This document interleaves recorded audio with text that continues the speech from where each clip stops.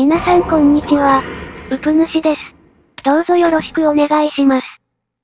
今回は4つ目のシナリオ、極縁、です。主要キャラは自称大学生の陽子さんです。ルールの縛りを考えると、陽子とシンディの長所は魅力的です。今後も二人の登場が多くなると思っています。極縁。では、一定条件を満たすとクリア後のムービーにおまけがつきます。今回はそれを狙ってみたいと思います。ではでは張り切って参りましょう。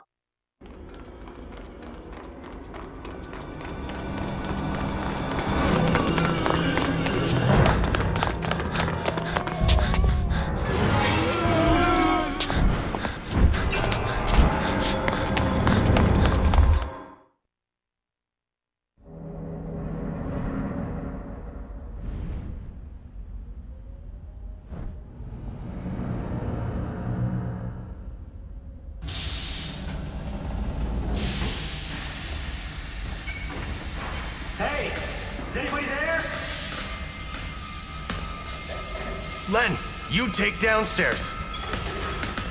What's that? It's gonna blow! Get out!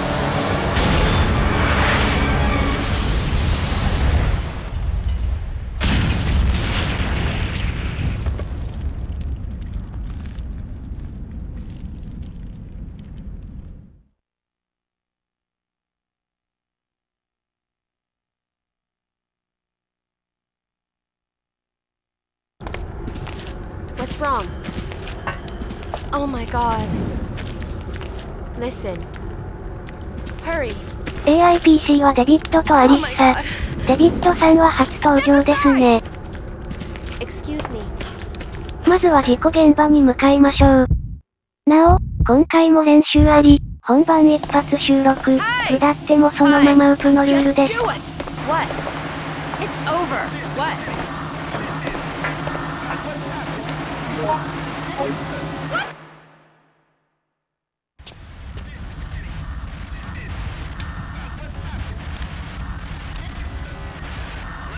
Excuse me. Huh? What do you want? I have no idea what I should do.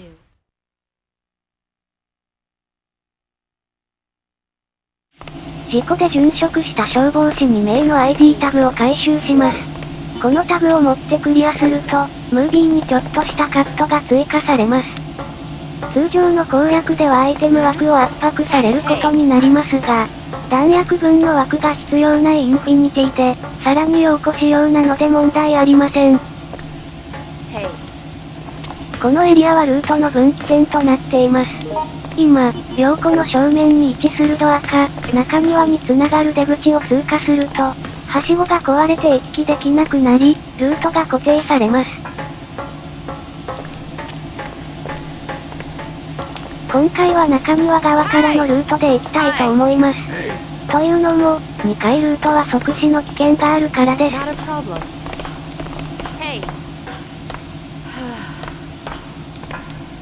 中庭中庭と言っていますが、ゲーム上は Apple Inn Squareです。うぷ主はこの表記がどうもしっくりきません。マップ構造上、どこまでが Apple Inn Squareなのか混乱します。did you find anything new? デビットのセクシーな喘ぎ声が聞こえました。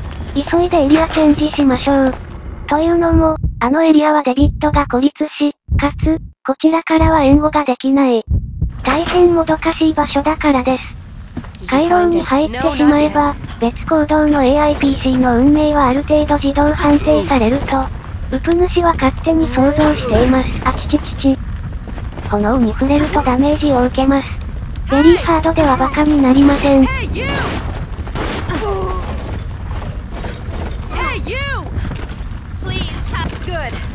序盤はアリッサ姉さんが頼りです。It! 霊下の時はお世話になりました。Yes. Help me! Hey, you! Brace yourself. Listen, give up.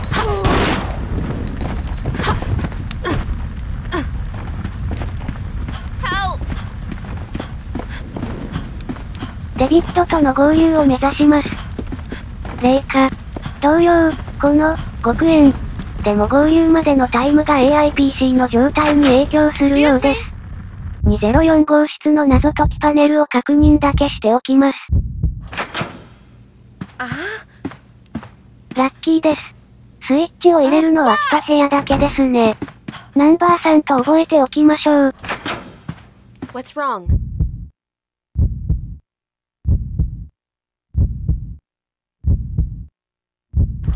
Did you find it?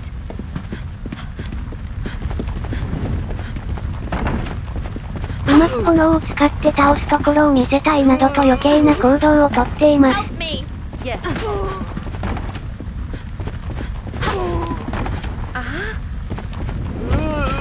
そしてこのざまです。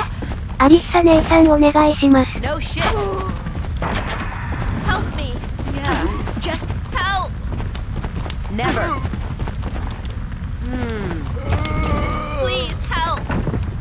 Help me. Go away.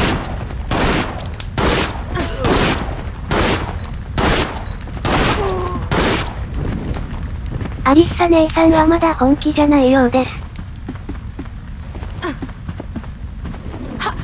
計画変更でナンバーさんのスイッチを入れに行きます。隣の部屋に緑ハーブがあるからです。No shit. Hi. Please help. So, did you see anyone? ここはドア開け無敵モーションを使ってうわー。序盤から回復アイテムなしで這いずってしまいました。タースーケーテー。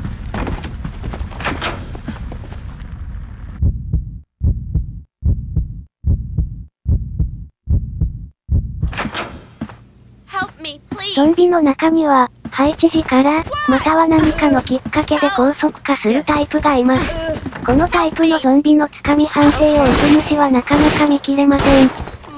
急速接近しながら判定が迫ってくるので、それを見越してタックルを先に置く感じで繰り出せば、迎撃可能です。そろそろ立ち回りの修行をしておかないと、ファイル2ではちょっと厳しいなぁと、ガクブルしています。このパネルのスイッチ、ソロプレイなら問題ないのですが、マルチマッチング BD で適当にスイッチを押す人がいて、よくカオスになりました。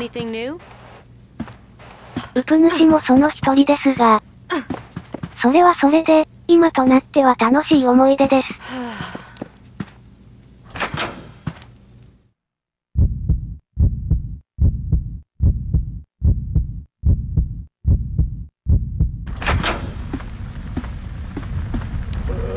Don't touch me! 5億円。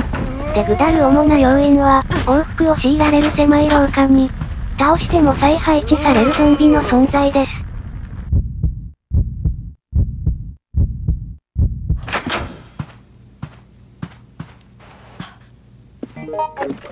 中にはスタートの場合、ハーブも決して多いとは言えないので、序盤につまずくとかなり厳しい展開になります。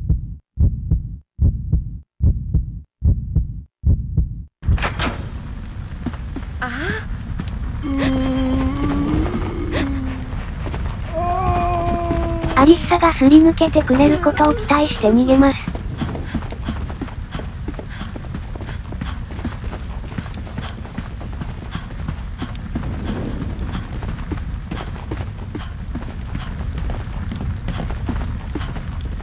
このドアで仕切り直ししてみましょう。成り行きで、謎解きも完了してしまったのでアイテムを回収します。本来ならデビットとの合流を最優先にするべきです。金の鍵を取ります。アリッサ、大丈夫かな？Oh, um.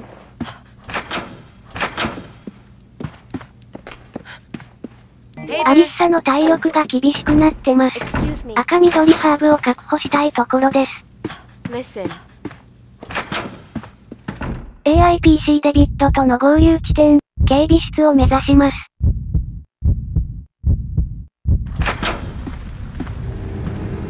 警備室のパスコードは、巣窟。同様、ファイルを獲得せずとも開けられますが、警備員の手帳を見るルートで行きます。そこに緑ハーブもあることですし。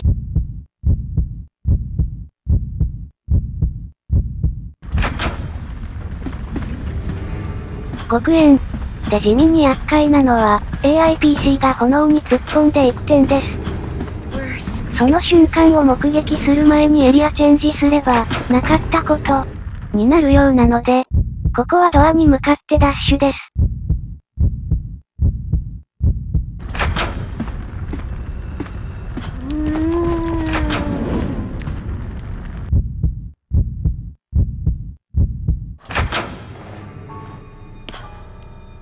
パスコードを確認します。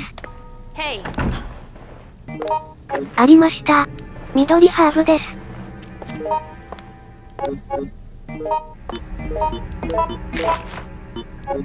ひとまず安心ですあ?とはデビットの安否が気がかりで Oh す。そういえば、陽子の体操着はウプ主の趣味かとの質問をいただきました。今.陽子が着ているワンピースも、飾り気のない彼女のイメージにマッチしていて、シンプルで素敵だと思います。体操着に関してですが、ウプ主としては、あえてここは陽子にバニーを着させて?シンディとアリッサに体操着姿になってもらうのも、意外性とインパクトが相まって趣を感じるのですがどうでしょうか？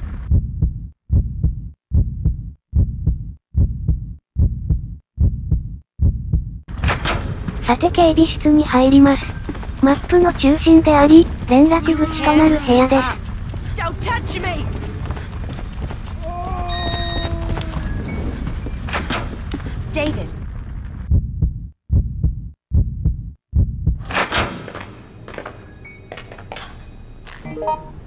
いました。無事で何より、金の鍵も?入手してくれています。警備室で合流を果たせば、シナリオクリアの期待は一気に膨らみます。極円?の AIPC は比較的、単独行動を取りにくく、そばにいてくれる傾向にあるので、這いずり孤独死の危険が少ないからです。また、合流後は即死要素がないのも安心できる理由です。May I have it? Excuse me. This is it. 間違えました。今はデビットにスプレーを渡してはいけません。This is it. AIPC デビットの性質は、体力がギリギリになるまで回復を使わない。今回の縛りには最適のキャラなのですが、男気あふれるあまり、回復アイテムを捨ててでも武器を優先して拾うという、致命的な傾向があります。裏を返せば、ボス戦に挑む際、アイテム枠の空きさえ気遣ってあげれば、デンジャーまでしっかり粘って、瞬時に回復する理想的な AIPC とも言えます。この階段、なぜか AIPC は開花のラウンジを目指します。そして炎に突っ込みます。Hey, you! Stop! So, did you see anyone?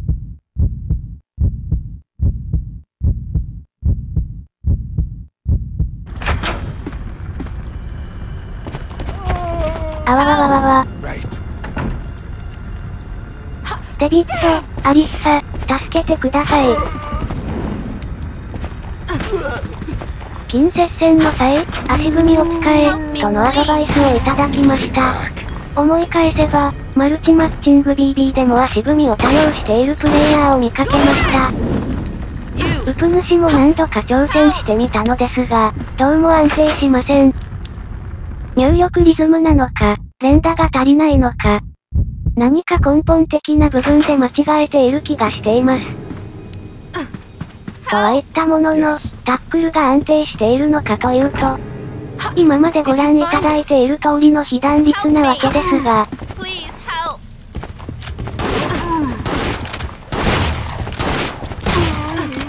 結局のところ、AIPC が撃ってくれることを前提のキューバしのぎでしかありませんね。Wait there. マルチマッチング BB で、画面中央の上木鉢を取ろうとする人をよく目撃しました。ウプ主も練習の時に思わずやりました。あと、この部屋の壁を壊している時にいつも思うのですが、こんな薄?い壁側にベッドが配置されているのがとても不自然に感じます。壁の向こうの部屋に行くと、ベッドの配置にさらに驚かされます。Oh my god. Never. Hey there. Help me. ドア付近の戦闘は AIPC の挙動不審に拍車がかかります。この穴も同様の扱いなのでしょう。2丁目のショットガンを確保しました。戦力は万全です。で町ゾンビは手強いです。暗い判定が発生したと同時に襲いかかってきます。デビット、いけるかな？うーん、ダメそうです。エリアチェンジでごまかしましょう。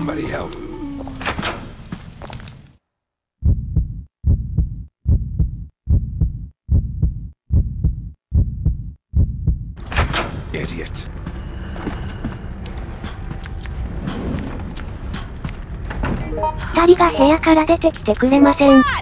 こういった時間はとても不安になります。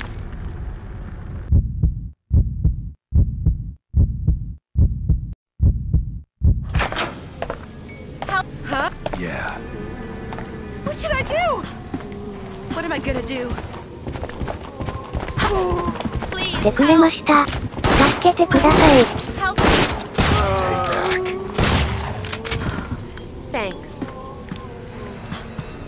正面ロビーへのキーアイテム、赤い宝石を取ります。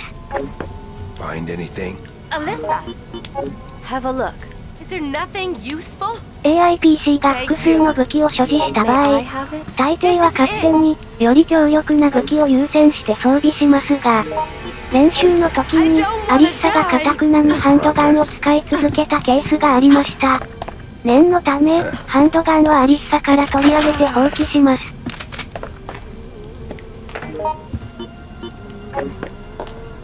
いつの間にかデビットがハンマーをこしらえていますね。今回は特殊なルールなので出番はありませんが、通常プレイのベリーハードでは、ハンマーは非常に使い勝手のいい武器です。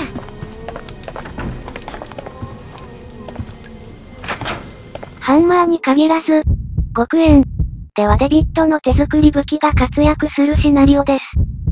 そこいらに転がっているものを武器にして突破し脱出する、という、アウトブレイクならではの遊び方が楽しめるシナリオだと思います。No.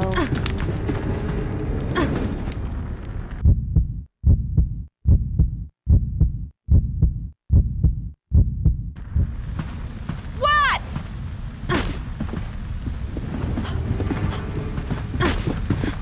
Yeah.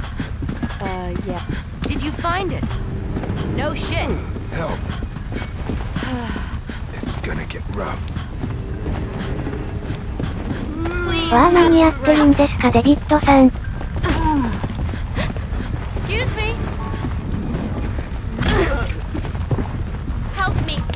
起こしてください。こげます。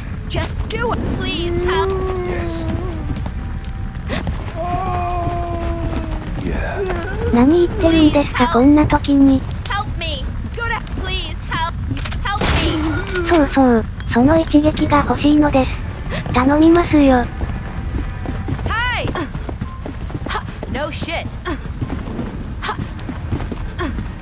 とりあえず警備室で体勢を立て直しましょう。迷子になったら警備室。困ったら警備室です。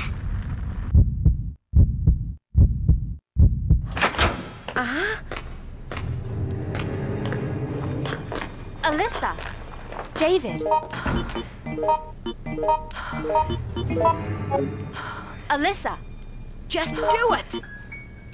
ちょっとハンマーのロマンにウプ主の心が揺らいでいます。デビットにハンマー無双をしてほしいところですが、無謀でしょう。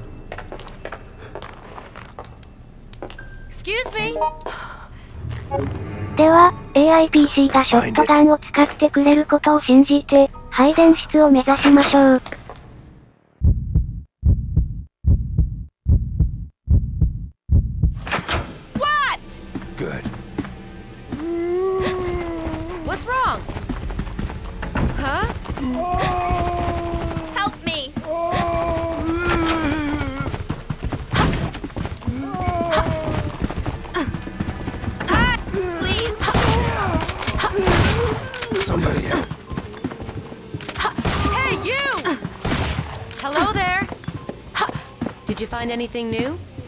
やってくれました。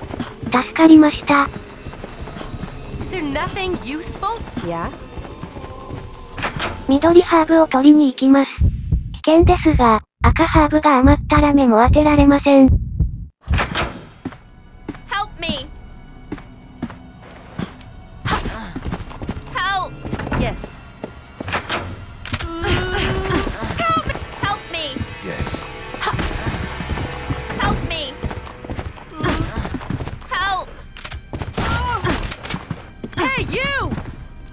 がとうございます。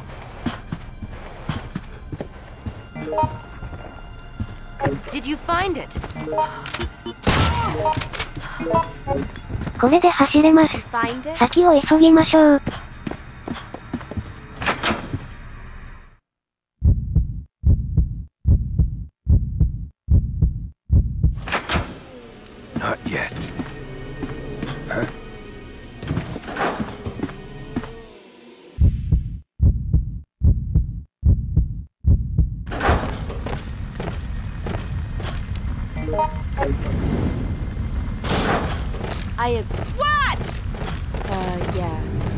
極円は、ところどころおかしな部分があります。Do it! 306号室関連のアドリブもその一つです。別ルートから来たプレイヤーに対して、シナリオの進行度を伝えるためのセリフなのでしょうが、アドリブが発動するきっかけがよくわかりません。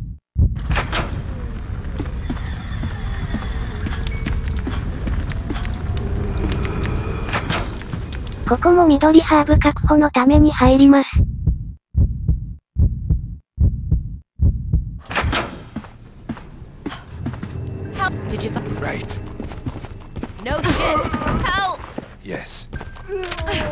アリッサ姉さん、さっきと同じパターンですよ。So, did you see anyone? I found some. This is it! AIPC のダメージは必要経費と割り切るしかありません。シンディ、良好を選択する理由も、彼女たちのアイテム積載能力だけでなく、回復アイテムのやりくりしやすさが大きな理由です。にしても、練習の時より下ってます。回復アイテムの数がちょっと厳しいです。痛恨のミスです。これは食らいたくなかった。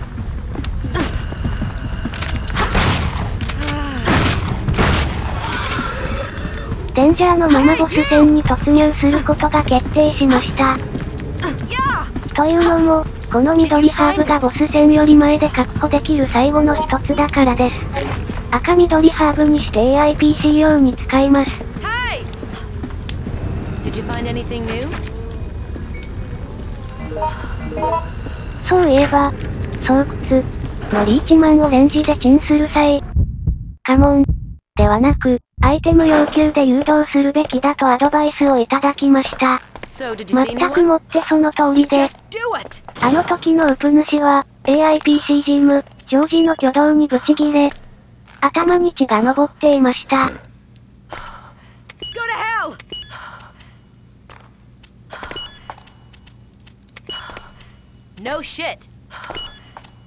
はい、もちろん偶然です。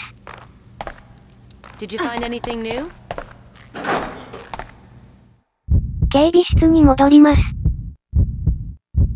さて、陽子の体力はもうすでに底をついているので、這いずった時に引き起こしてくれさえすれば、OK なのですが、AIPC のダメージは最小限に抑えていきたいところです。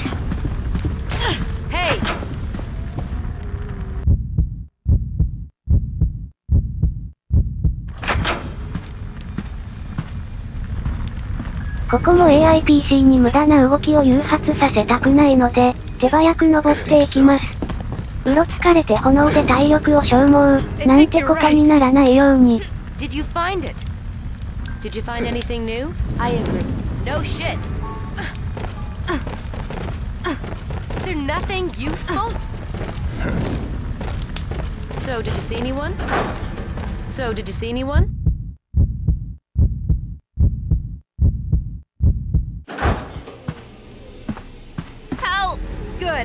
この廊下を抜ければボス戦です。AIPC には、やられる前に引き金を引いてほしいところです。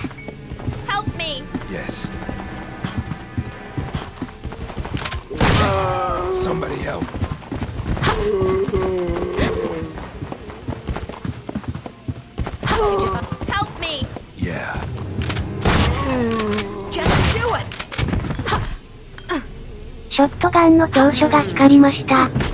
単発撃ちの傾向がある AIPC には高相性の武器ですね。Hey! Did you find it?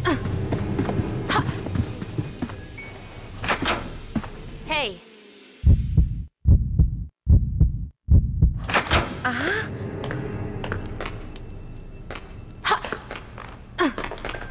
正面ロビーへのルートを開きます。Did you find anything new? No shit. Is there nothing useful? This is it.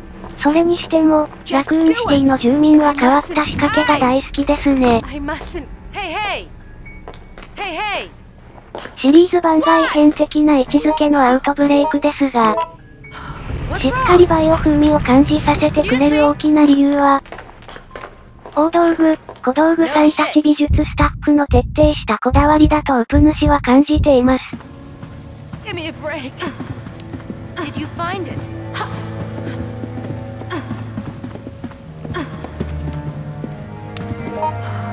結局、赤緑ハーブ一つしかありません。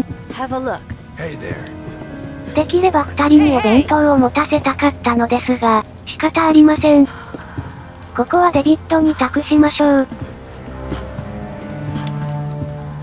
Hey! ちなみに皆さんは、黒煙、最大の謎、予備輪、をご存知でしょうか？煙 it. 予備輪でググれば詳細が見つかると思います。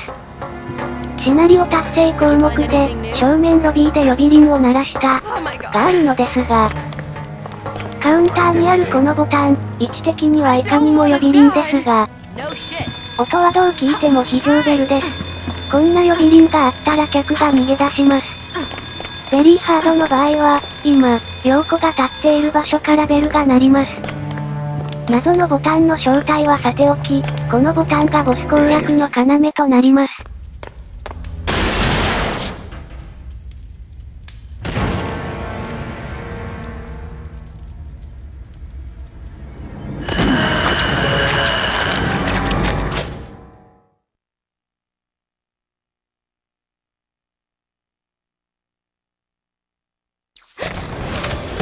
奥にある緑ハーブを確保します。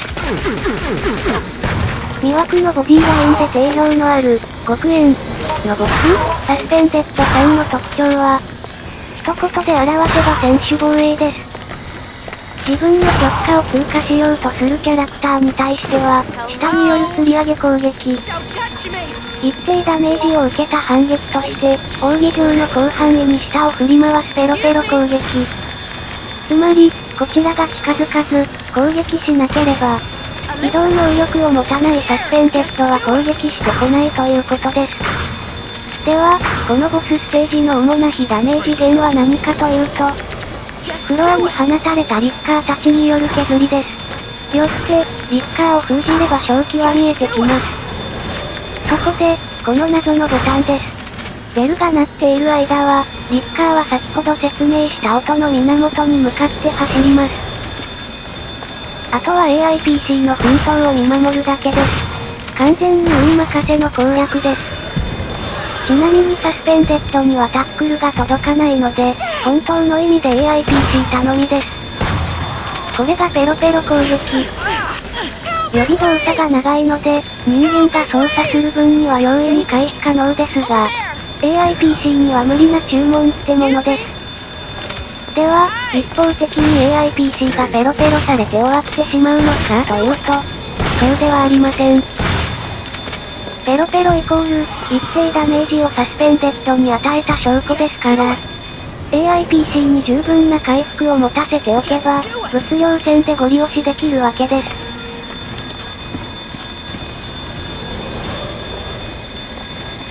アリッサ姉さん余裕ぶっこいてないで戦ってください。デ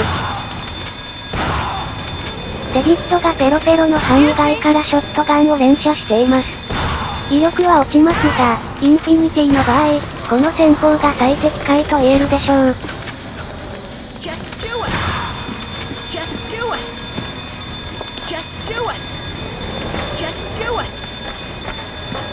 こらこらこら、Alyssa, come on. No way. Hold on. Go! ちなみに裏技として2階からサスペンデッドを狙撃できる場所があります。まあ、AIPC がそこから狙撃してくれたら神動画になっているのですが、ご覧の通りです。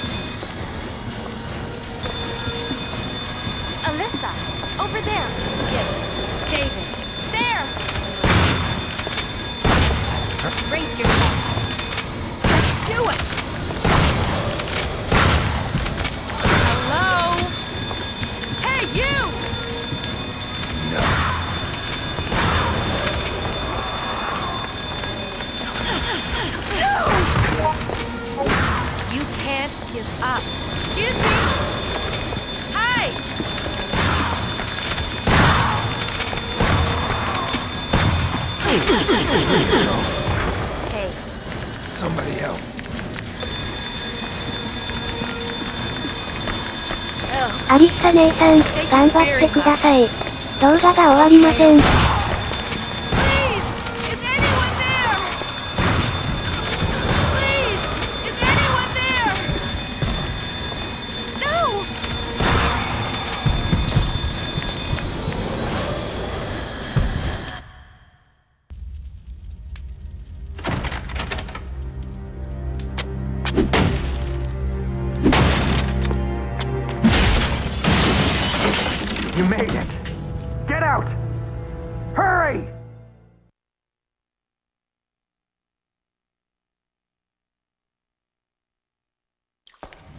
ました。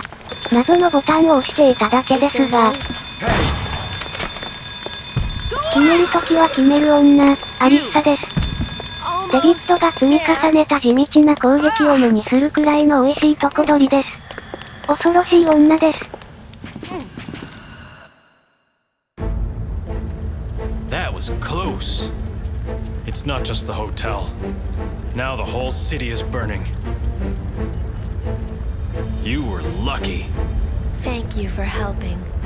We've been patrolling the city, trying to help those in need, but it's worse than a war zone. The army's been called in. Better get out of the city while you can. I have a very bad feeling. You will always be with me. I hope you find peace. I'd rather not see tomorrow anymore. I was really thinking like that until a few minutes ago. This nightmare is too much for me. But I'm alive now, and somehow that comforts me. I'll cling to this for now.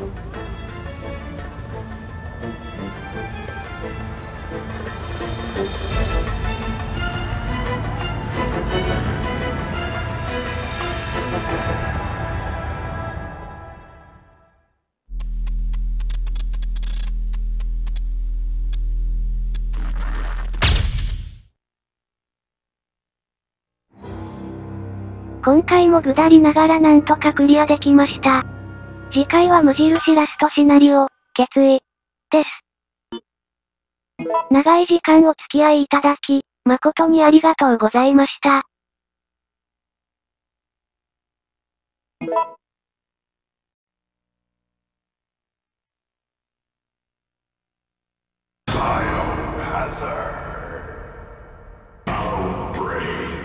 皆さんこんにちは。うぷ主です。今回は無印ラストシナリオ、決意、です。選択キャラクターは初の男性陣、ジョージです。AIPC としてはすでに2度登場しているので、なんだか常連な感じです。AIPC ジョージは正直、微妙な性能でしたが、プレイヤーキャラクターとしての彼は、攻守のバランスに秀でた万能キャラです。それでは張り切って参りましょう。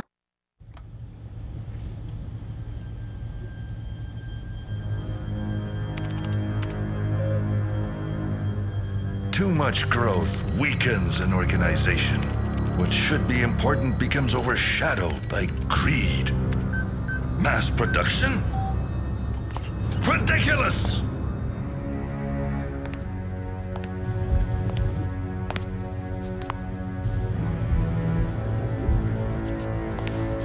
One masterpiece is enough.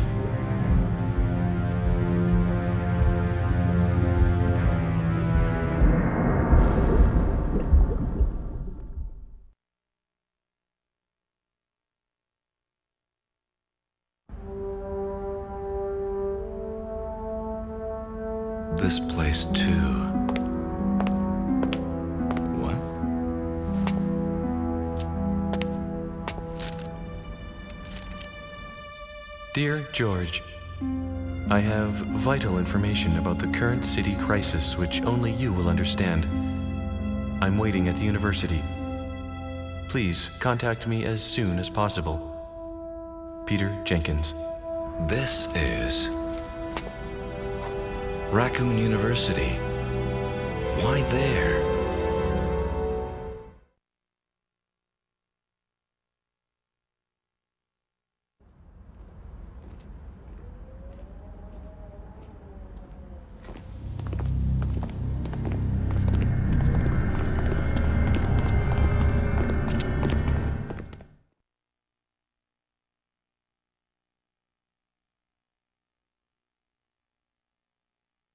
今回、共に脱出を目指す AIPC は、飲んだクレリーサルウェポン、ケビン君と、AIPC としては初登場のシンディです。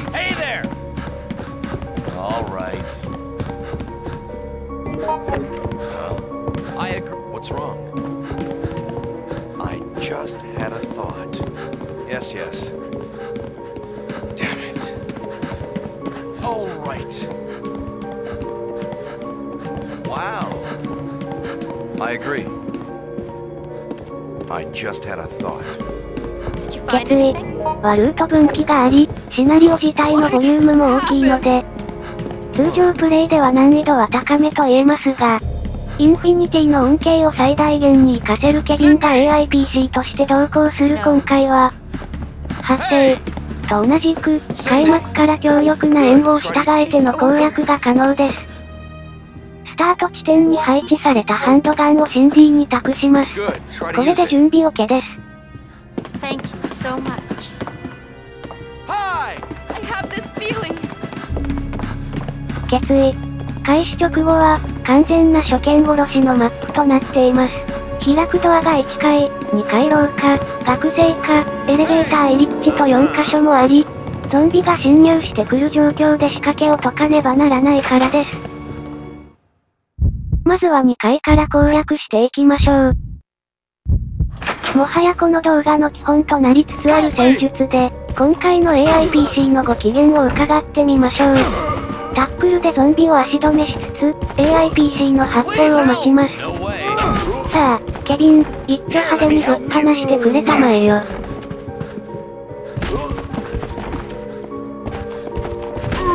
Please help! What?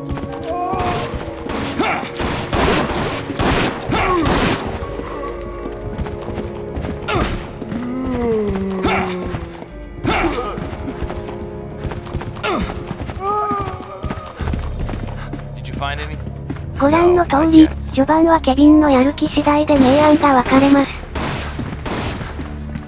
体力の多いベリーハードのゾンビも、ケビンの4号オートの前では雑魚同然なので、ぜひとも彼に頑張ってほしいところです。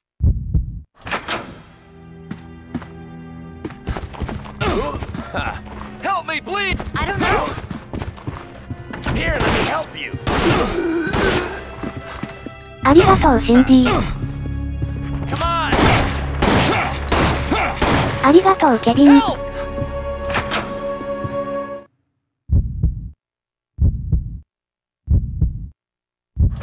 学長室の暖炉の紐を引きましょう。完全にランダムの運任せです。外れでした。ゾンビが追加されました。無駄な戦闘は避けて先を急ぎます。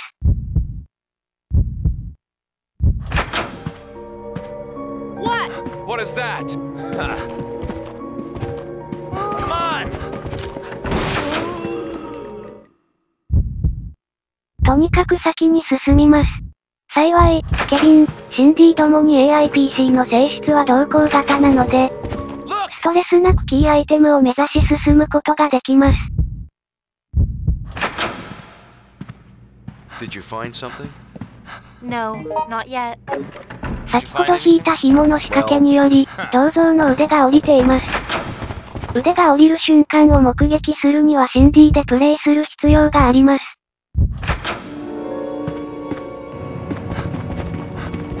How dare you! Here, let me help you!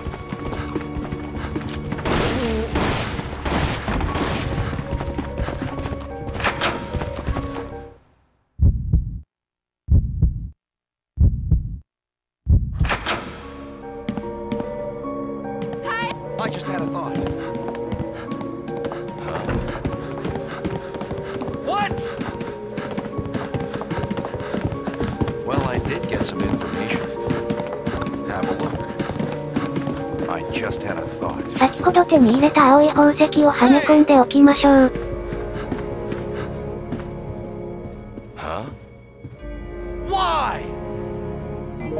初代バイオハザードの洋館を思わせる仕掛けを解いていきます。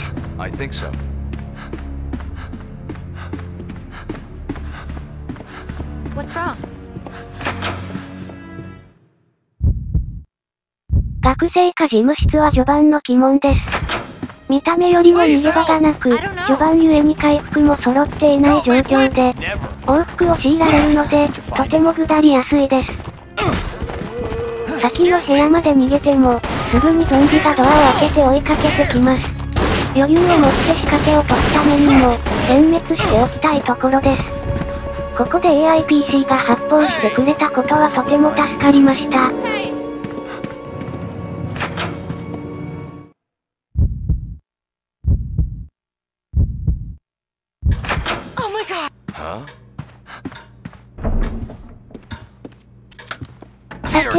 た新たな仕掛けです。It's over.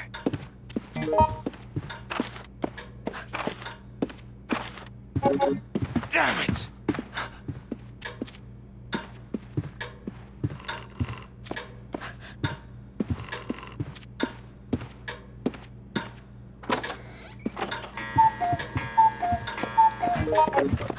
決意。序盤は仕掛けとゾンビの妨害に苦労します。仕掛けの数に対しては皆さんそれぞれ好みがあると思いますが、仕掛け大好きな打ち主は、もしもアウトブレイクの続編が出たら、戦闘以外の突破口を選択できる余地もぜひ残してほしいと思っています。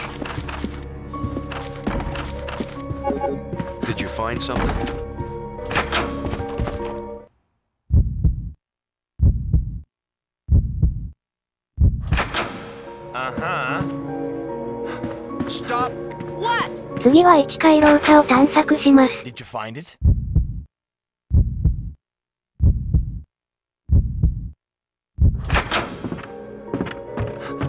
Help!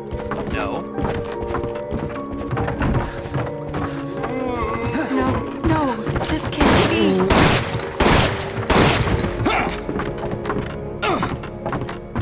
常時の特徴の一つに青ハーブの有効利用があります。本来、解毒が主な目的である青ハーブを回復剤に変更できる特権は大きく!陽子やシンディ、ジムなど、体力の低いキャラと同行する際には特に重宝します。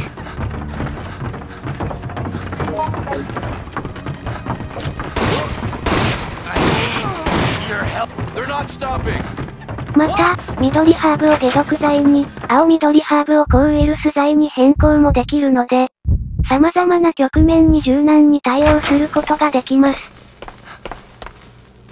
Oh! 極めつけは赤ハーブを止血剤に変える捨て身のネタプレイですが、通信プレイでこれをやって出血中のプレイヤーに差し出すと、その場の空気が凍りつくことがほとんどでした。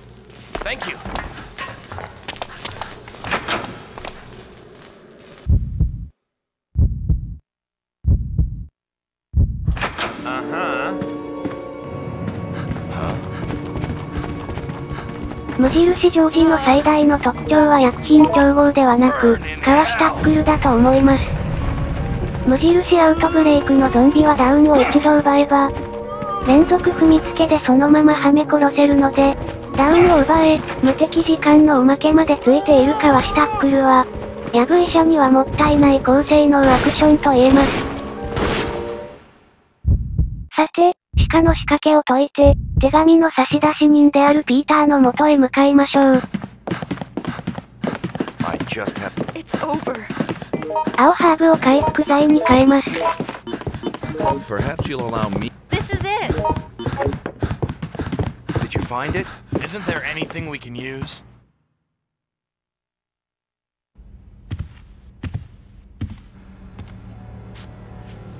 No.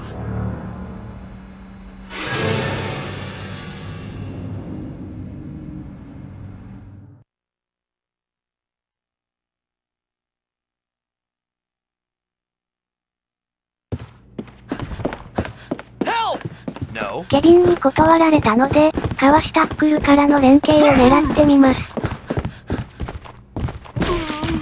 シンディありがとう。このように、1対1のゾンビ戦ならば、ジョージは無類の強さを誇ります。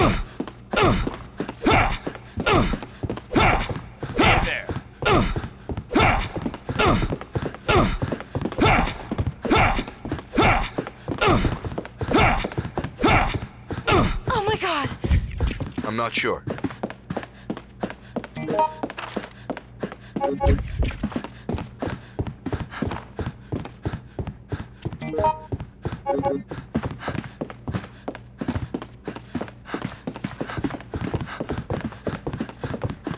I just had a thought.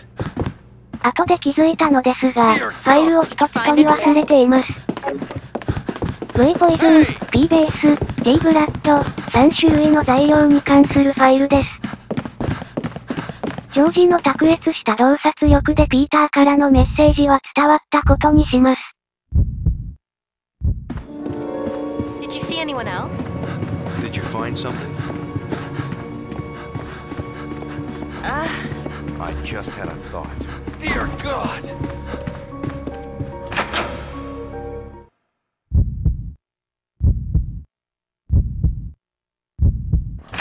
メモの切れ端をヒントに、エレベーターの起動コードを入力します。Oh my god. hey there. I just. Ha!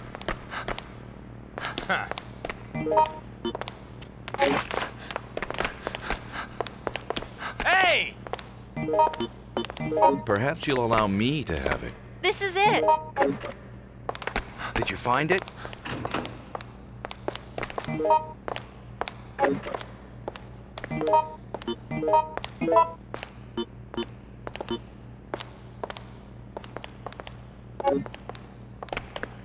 I found some information. ここでルートを選ぶことになります。極縁の冒頭と同じように、二手に分かれるわけです。今回は V ポイズンを取りに行きます。通称、8ルートです。かれる AIPC は P ベースを取ってきてくれるので、お弁当を持たせてあげます。プレイヤー側が下って攻略に時間をかけすぎると、別ルートの AIPC の状況も悪化するようで、最悪の場合、途中での垂れ死んでいたりするので迅速に進みたいところです。相方の AIPC はシンディですね。よろしく頼みます。AIPCCD はこの動画のシリーズ中、最も挙動が安定しているように感じるのですが、気のせいでしょうか？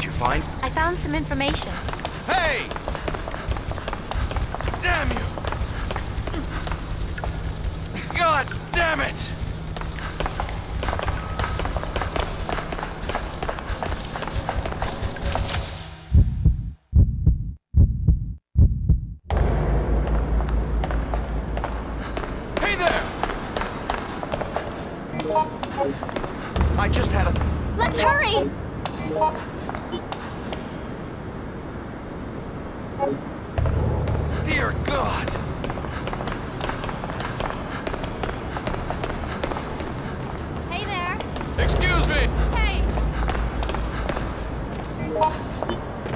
マップが広い、決意は配置されている回復の量も多めです。場所さえ把握できていれば、回復不足に陥ることはないでしょう。Did you find anything?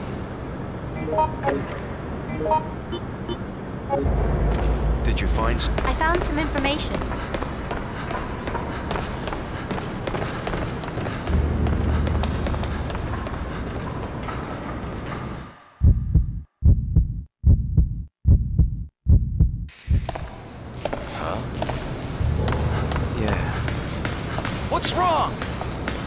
ここは列車の車内を通過するか、鉢を避けながら外を走り抜けるかの2択です。とはいえ、タイムアタックでもない限り、車内のルートを選ぶ人がほとんどでしょう。車内には救急スプレー、アサルトライフル、赤ハーブがあるからです。Hey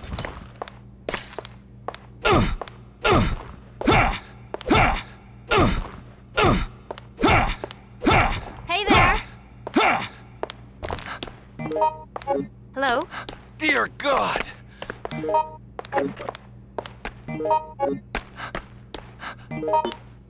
Perhaps you'll allow me to have it. Have a look. This is it! ここでシンディの荷物整理をします。ハンドガンはお役御免となります。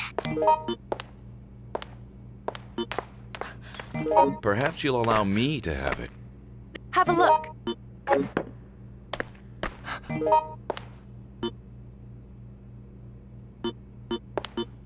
Perhaps you'll allow me to have it. This is it!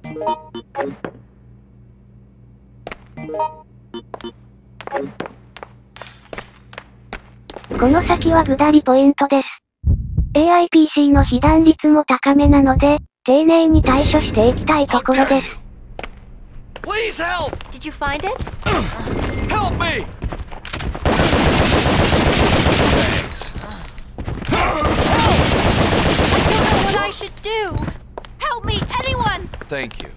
ヤクシマルヒロコバリのぶっ放しっぷりです。シンディー、素晴らしいです。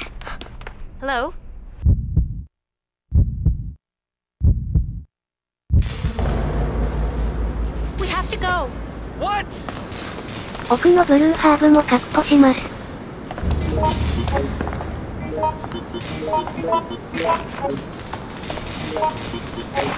Did you see anyone else?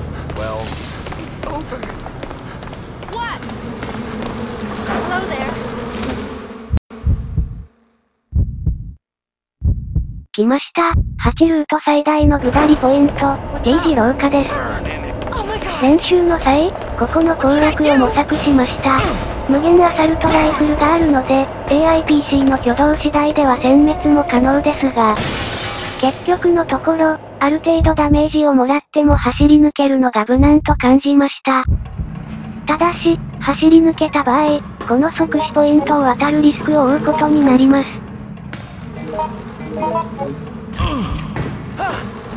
can anyone hear me?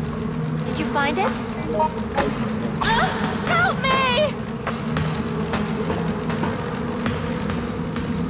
Hey there! 運がいいと、AIPC があっさり蜂を撃ち落としてくれるのですが.今回は危険な状況になりました。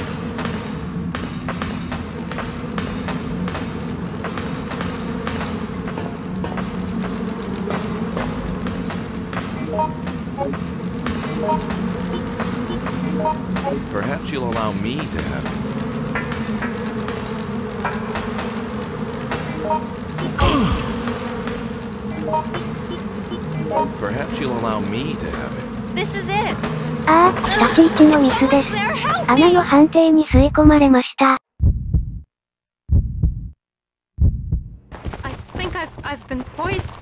ここのゾンビみたいは厄介です。仕掛けを取っためにも殲滅しておきたいところです。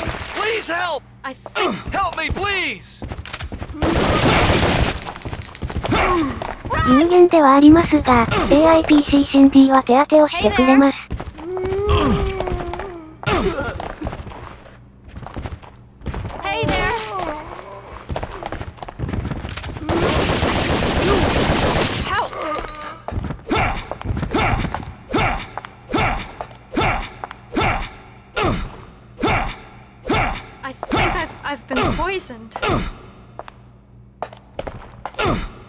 恐ろしく体力のある個体です。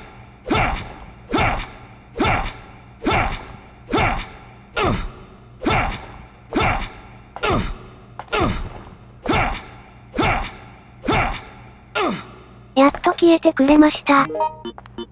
Perhaps you'll allow me to have it. It's over. Did you find anything? Perhaps you'll allow me to have it. This is it. Did you find something? レッドハーブを取りに戻ります。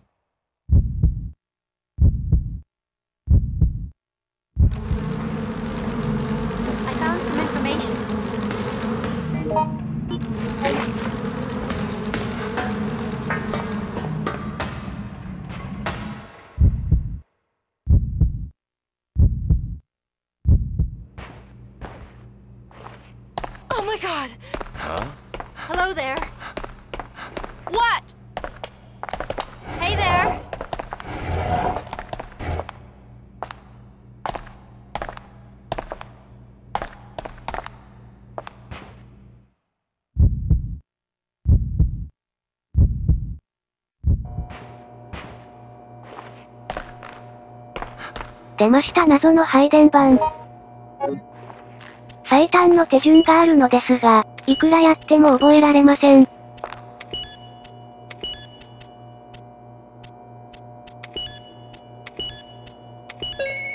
まあなんとかなるものです。シンディの解毒をしてあげたいところですが、もう少し我慢してもらいます。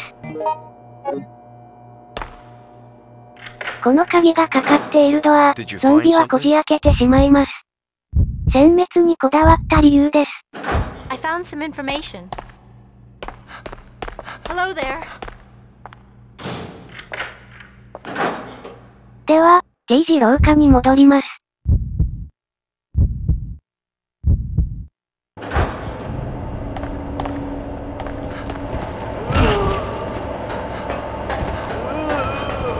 ゾンビが3体配置されているので非常に危険です。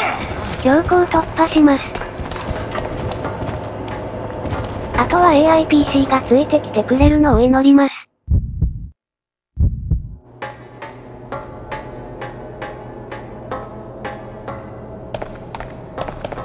Find this- it? 今回は AIPC シンディの被弾は極力避けたいです。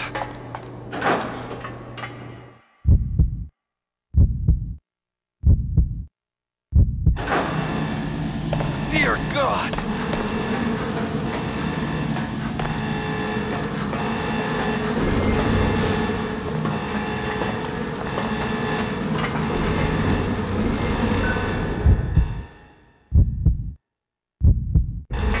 think I've, I've been poisoned.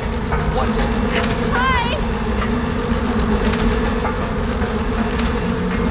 よほど運が良くないと、ここで AIPC は毒を食らってしまいます。解毒は排気筒を脱出した後にするべきです。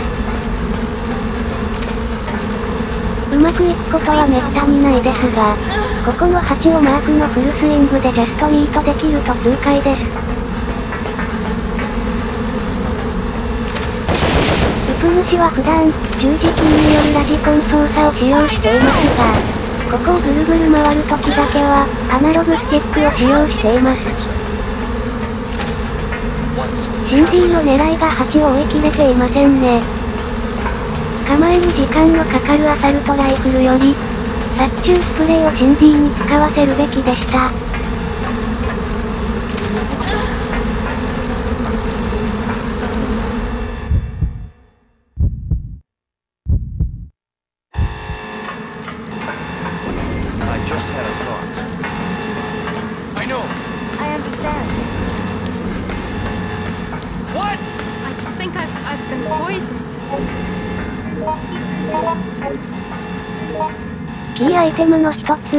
ポイズンをゲットしました。さっさとずらかりましょう。Kevin! Cindy! Good. Try to use it.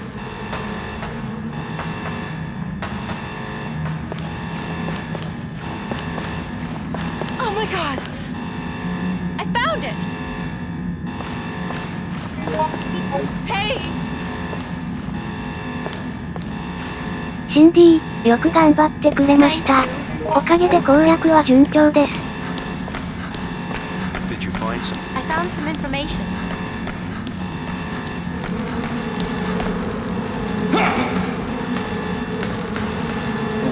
ここの階段は苦手です。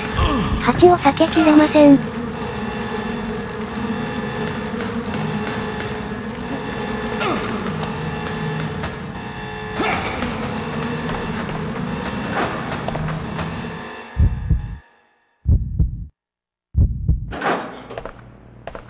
事排気塔を脱出です。シンディを解毒しましょう。Good. Try to use it. Did you find it? 残るキーアイテムは T ブラッドと P ベースです。Dear God!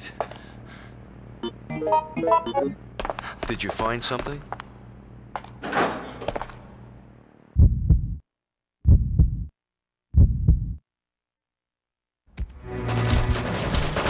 Closing in! Alright, come on. The thing's too huge. These 9 millimeters are useless. Almost got him. Hold on! Calm down. You must give me your blood.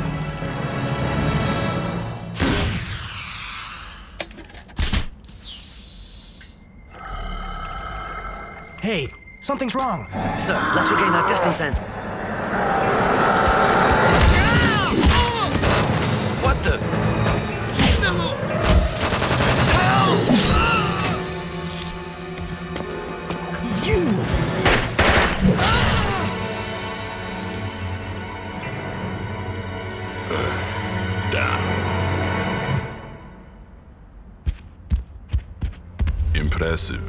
I won't underestimate it next time. It must be going to the man. Might as well set it up. Just in case. さてここからはケビンとの合流です。ルートは2択で、いずれも即死の危険を含みます。ここで言う即死とは、這いずり状態を介さずに死亡状態に至るケースを指します。サメに食われるか、カエルに飲まれるか、いずれかのリスクは避けて通れません。カエルの方が若干安全度は高いのですが、シンディの追従性を見込んで桟橋ルートで行ってみましょう。画面奥の水面で荒ぶっているのがサメです。Hey there.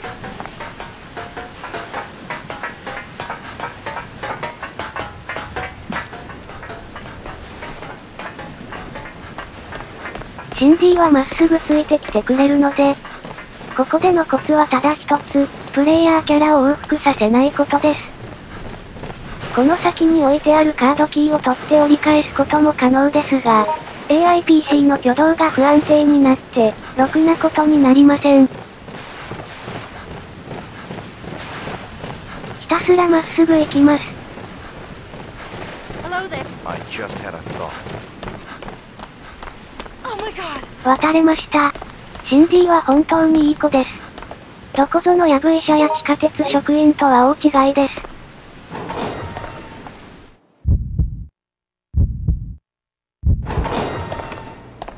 わあびっ?くりした。ケビンも無事ですね。よかったよかった。P ベースもしっかり確保してくれています。3人で T ブラッドを取りに行く前に、お弁当を渡しておきましょう。It's over. Good. Did you find some? Did you find it? シンディに救急スプレーは回復用型となるので、緑ハーブを預けておきます。Thank you. ちなみにケビンの体力は2300、シンディが1500、ジョージが2100。救急スプレーの回復量は3000。緑赤ハーブの回復量は2000。緑ハーブの回復量は500です。さあ、スタート地点のエントランスホールに戻ってきました。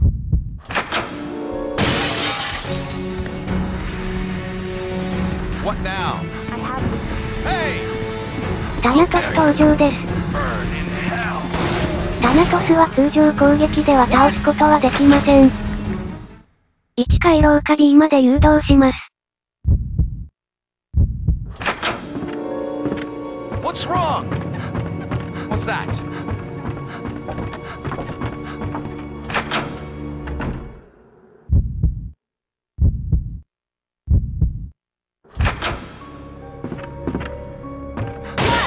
Dear God! イブラッド獲得で注意するべきことはタナトスの即死攻撃です。ヤンセンになって下ると、AIPC が即死攻撃の餌食になることがあります。What is that? Oh my god! Perhaps you'll allow me to have Here. Have a look. This is it! うまくいきました。ケイブラッドをゲットして逃げましょう。目指すはエレベーター3階の先にある生成装置です。3つの材料をもとに、J ウイルスを完全に消し去る薬品、デイライトを作ります。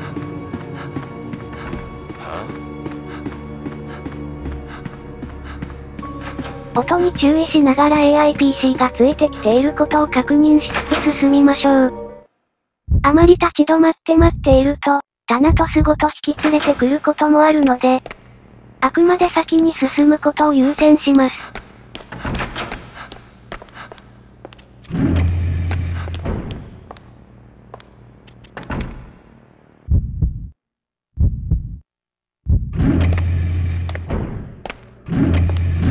ついてきましたね。OK です。タナトスはこのエリアには侵入してきません。画面奥にある救急スプレーを忘れず確保しましょう。ケビンが空気を読んでくれました。ありがとう。これから先はケビンに頑張ってもらうので、ありったけ.の回復を彼に預けて最終決戦に臨みます。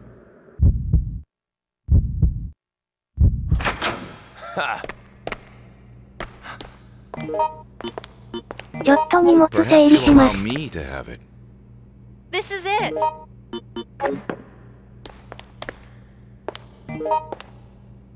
シンディに抗ウイルス剤を飲んでもらいたいのですが、彼女は自分のウイルス進行度が60%を超えないと、抗ウイルス剤を使用しません。ちなみにジムは初期状態から抗ウイルス剤を飲みまくります。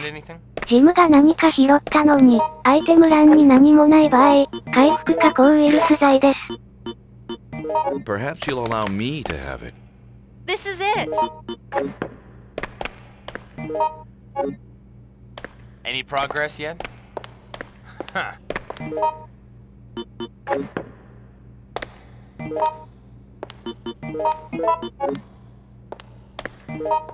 「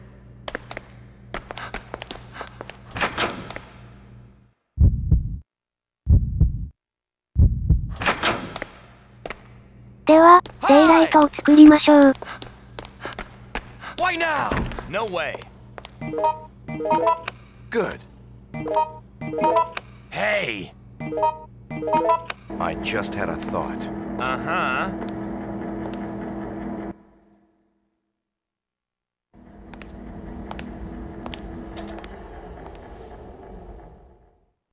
ここの動画、生成装置が止まってしまった、ってことなんですが、演出的にいまいちわかりづらいと思います。Perhaps you'll allow. Take this! This is it! Did you find something?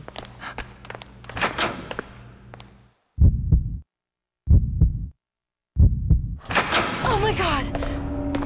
I just had. Hey there! AIPC が余計なアイテムを拾って回復を捨てたりしないように注意します。Hey! It's over. What? Huh?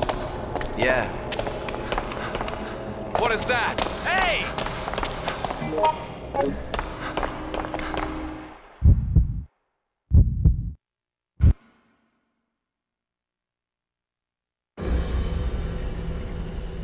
Apologies for this place being so hectic.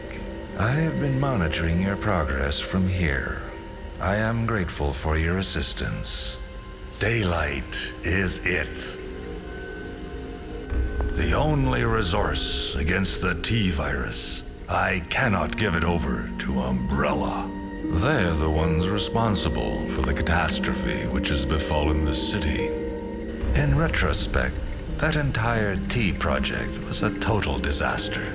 Brute force should not be the only criterion for a weapon. It must also be beautiful, unique, and godlike. You will also assist me. You're going to play with my ultimate creation.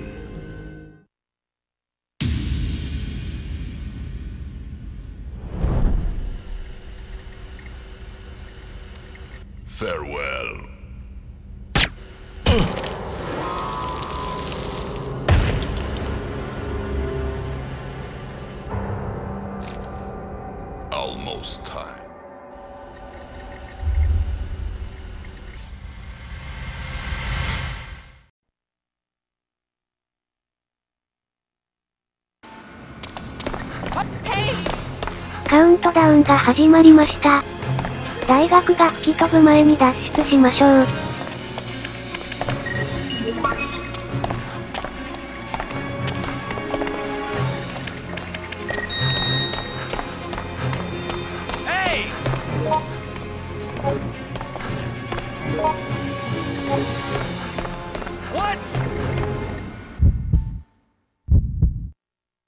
シンディは脱出ルートに先行したようですね。生成装置前に二人の AIPC が同時にやってくることってあるのでしょうかウプ主の記憶では、必ず片方の AIPC だけが、装置前まで同行するような気がします。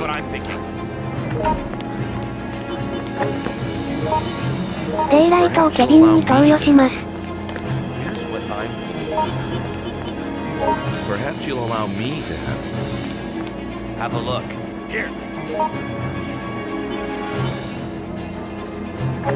これでケビンは這いずっても、かなりの長時間、持ちこたえることができます。ジョージとシンディにはデイライトを投与しません。今回は一定条件で見ることのできるペアエンディングを目指します。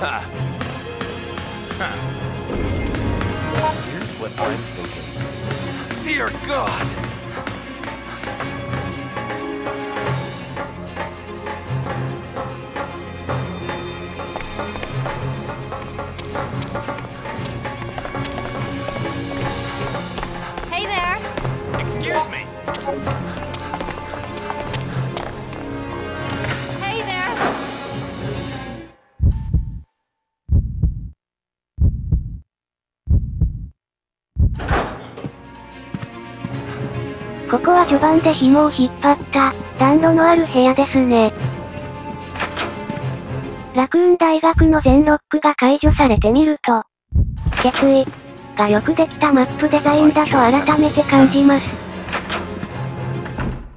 エントランスホール、1階の廊下、T ブラッドをゲットした電撃ポイントへと進みます。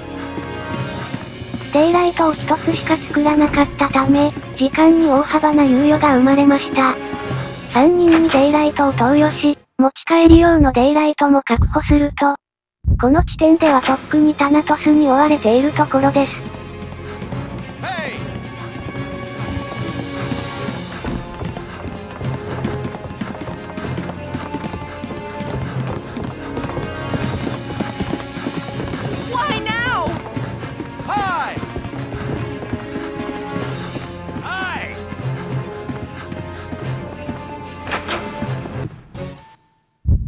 何か聞こえました。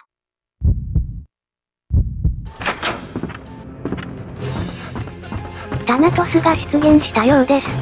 まあ、接触してもこちらが一方的に消耗するだけなので、構わず脱出しましょう。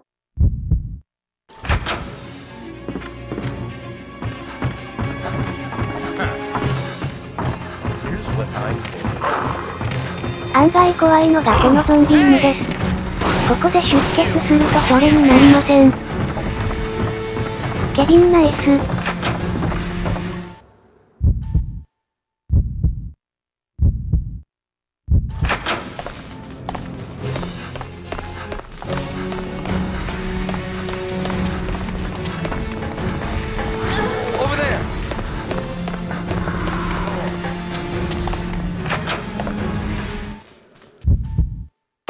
しました。ジョージの一人語りアドリブをお楽しみください。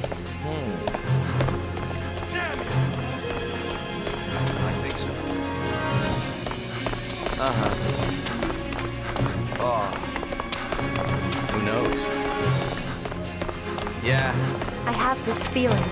I know. I agree.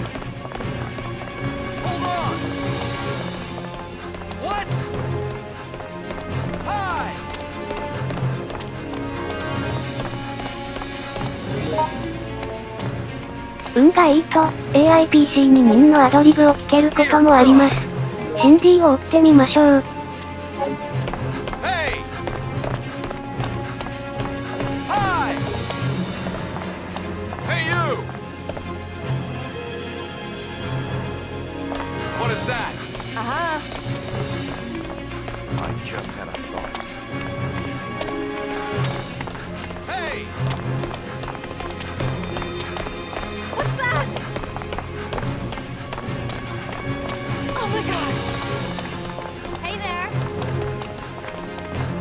ケビンはどうでしょう!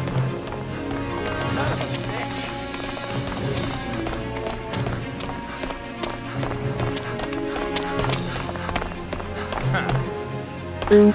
うまくいきませんでした。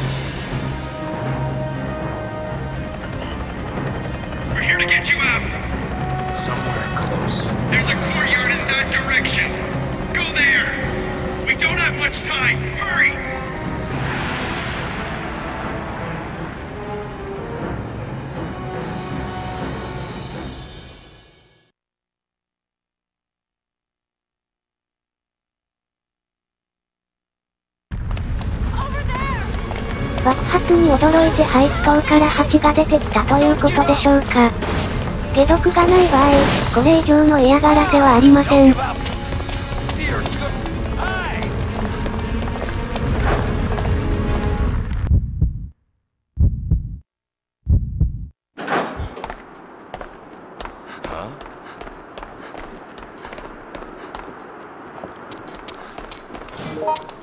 シンディが毒をもらっています。解毒しましょう。Perhaps you'll allow me to have it. Have a look. これで OK。Good. Hello there. とにかく回復は AIPC に託します。二人が機能しなければほぼ罪なのですから。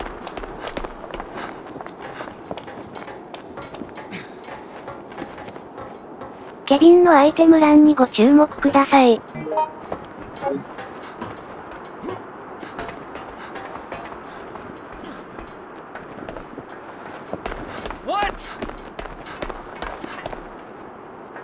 今一度ケビンのアイテム欄にご注目を。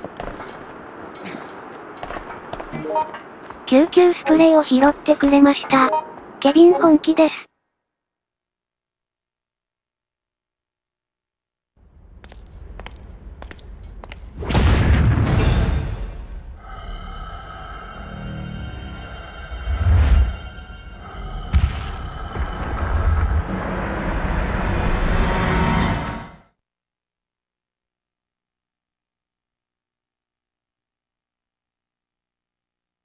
タナトス R 登場です。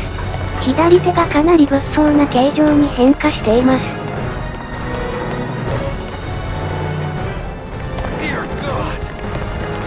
ここでの攻略は段差の乗り降り無敵を使ったポピュラーなものです。視界も良好ですし、これが一番安定しています。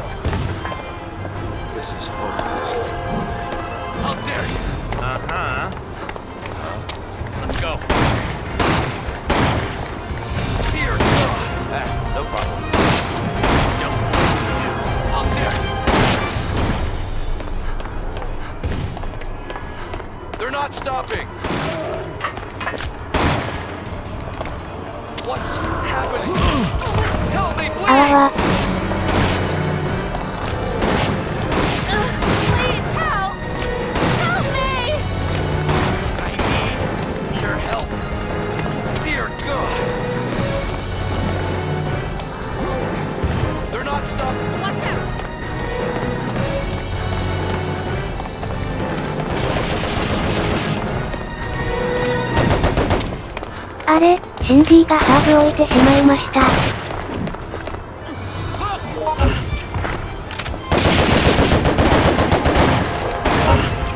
思いっきり餌に食られました。シンディがこのタイミングで回復してくれました。これは助かります。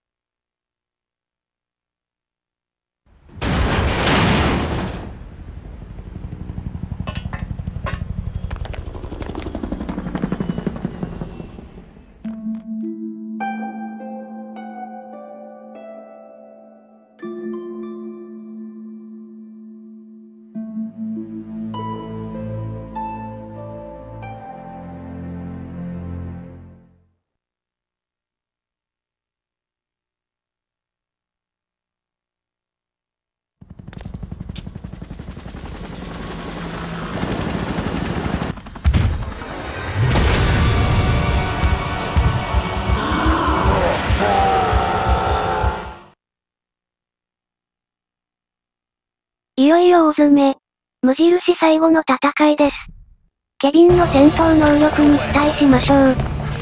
シンディはなるべく被弾しないことを祈りましょう。もはやこれといった攻略法はありません。タナトス R の着地攻撃をもらわないように、地面の影に注意するくらいです。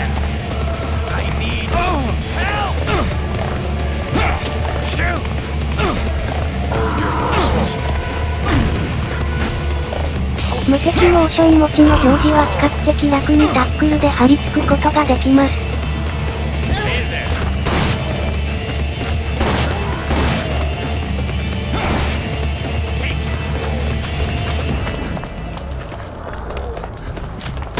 ケビンの構えモーションの速さが光ります。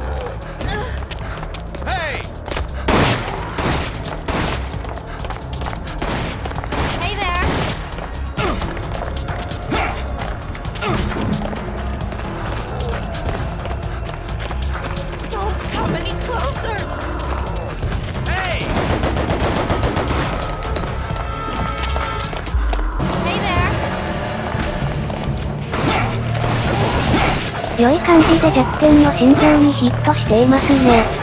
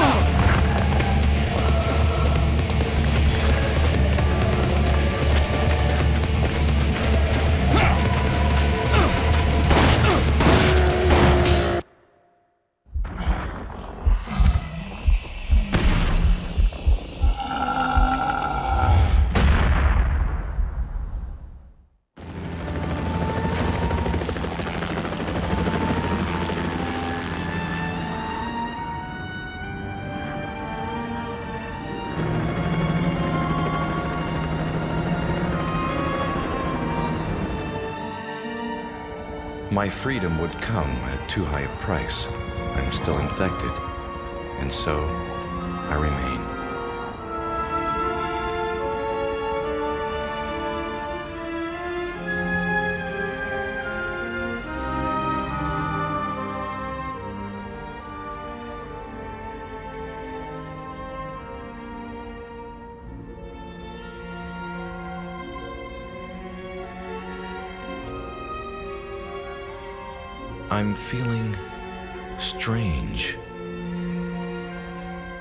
Me too.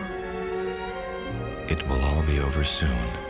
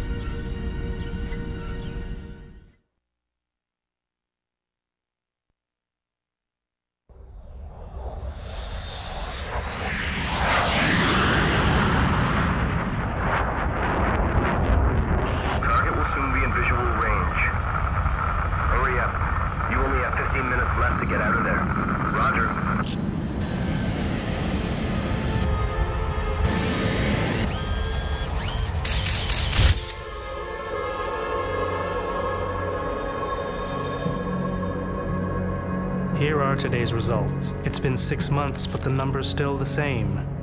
There's no way people could sustain life there. Not humans. No. Sir, there's a call for you from the head office. Put it through. We'll start at noon as uh, scheduled.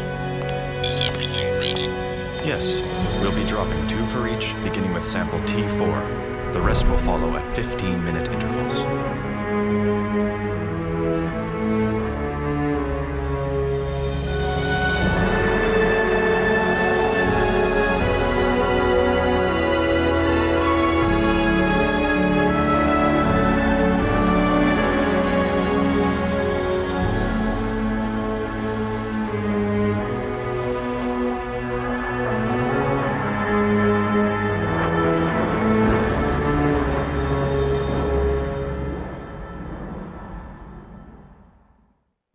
返ってみると今回は危なげなくクリアとなりました。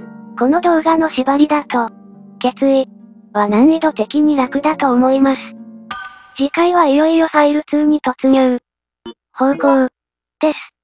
長い時間お付き合いいただき、誠にありがとうございました。